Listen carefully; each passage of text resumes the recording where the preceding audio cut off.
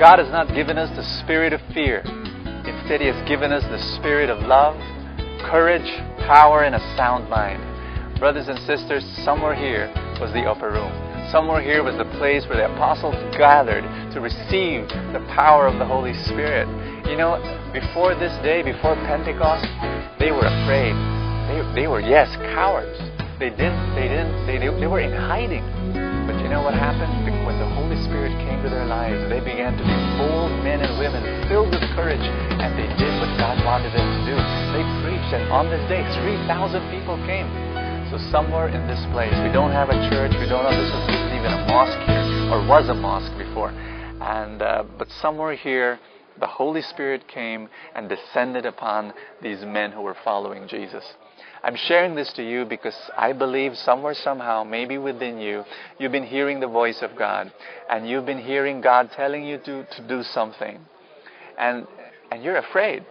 Some of you may be afraid, you know, should I really do this? Is this really what you want me to do? And you're afraid because it's so uncertain.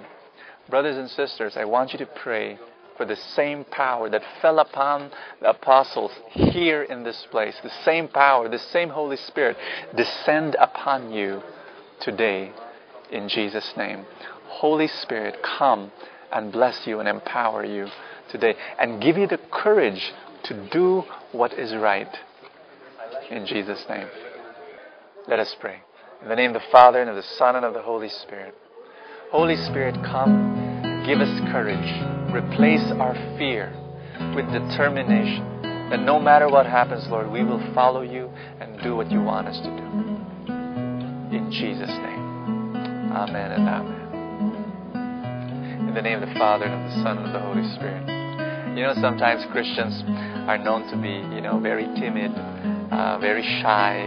You know, some Christians are supposed to be smiling always and, and uh, you know, bowing to everyone. Well, sometimes we're to do that. But I think many times we're supposed to be tough, gutsy, daring, committed, pursuing the dreams that God has planted in our lives by the power of the Holy Spirit.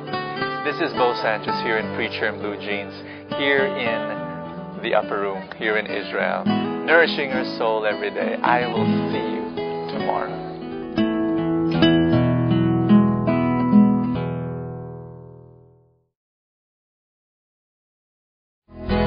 you so much for your monthly tithes and love offering to Kerygma family, without which this broadcast won't be possible. We know that God will reward you abundantly for your generosity. God bless you.